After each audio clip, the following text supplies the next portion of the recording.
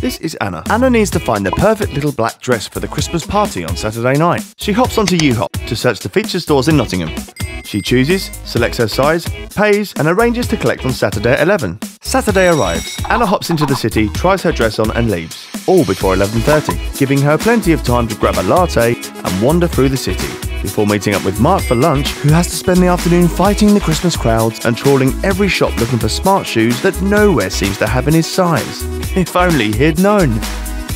Don't just hop into the city this Christmas. YOOHOPP